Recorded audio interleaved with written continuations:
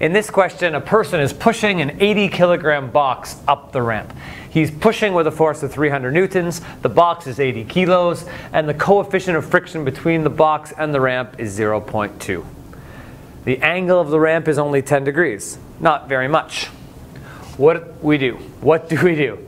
We draw a freaking big free body diagram, of course. I don't even know what the question is. Let's just follow the steps. Is there gravity? Absolutely there is. There's a force of gravity down, of course. The object is on a surface, so there's got to be Fn, which has to be perpendicular to the surface.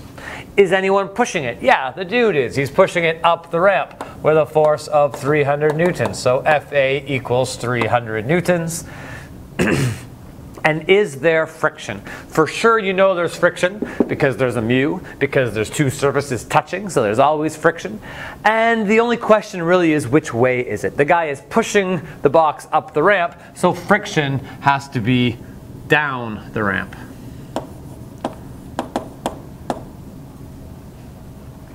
But technically, I need to make sure I know which way it's going before I say which way friction's going to be. I know this is being pushed up the ramp, so I know it's going to be down the ramp. But sometimes it's not always totally obvious. We'll talk about more about that in a second. So those are all the forces. I know this thing is accelerating up the ramp, so I'm going to call up the ramp x. And that means I've got to break gravity into x and y components. So I've got FGY and I've got FGX. I'm going to draw FGX again over here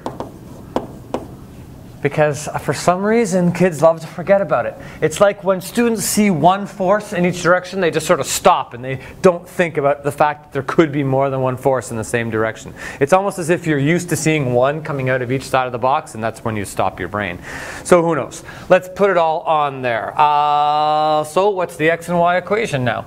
Coming over here, we see that the x direction is going to say positive FA minus FF minus FGX, and that has to equal MA. And what about the y direction equation? The y direction equation says that Fn minus FGY is equal to zero.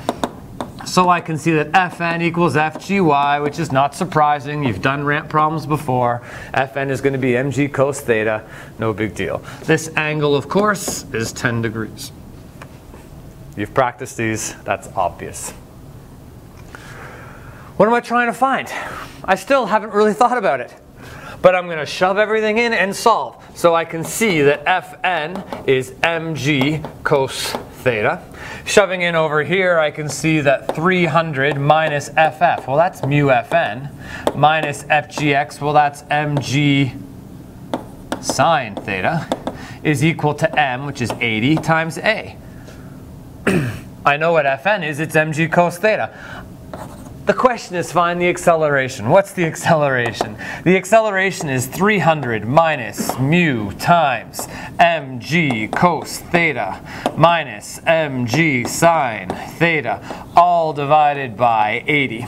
And when I shove in all my numbers and I do all the math, well, I'll show you that. I get 300 minus 0.2 times 80g times the cosine of 10 minus 80g times the sine of 10 all divided by 80 gives me an answer of 0.118 which I'll call 0.12 meters per second squared.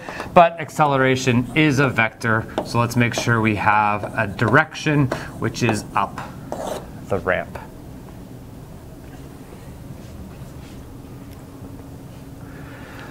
So we got a positive answer here, which means the acceleration is up the ramp. But we assumed that it was going up the ramp. If gravity, FGX, had been bigger than FA, this thing still would have gone down the ramp even though someone was pushing it. And in that case, friction would have been in the opposite direction. So if I had gotten a negative answer here, my answer would have been wrong. I would have had to go back and change FF and get the new answer.